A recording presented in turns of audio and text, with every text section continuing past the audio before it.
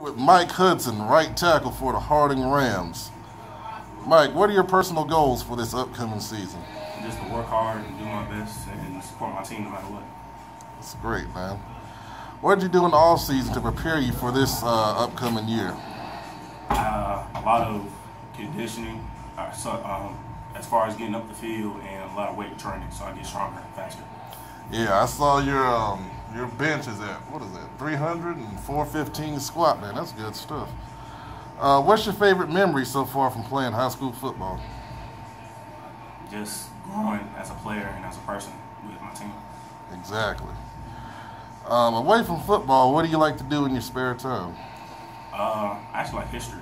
History Oh, wow, is like my thing, so I really um, enjoy history a lot. That's excellent.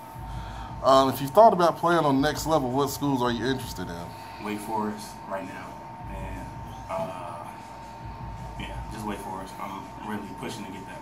Great, great, man.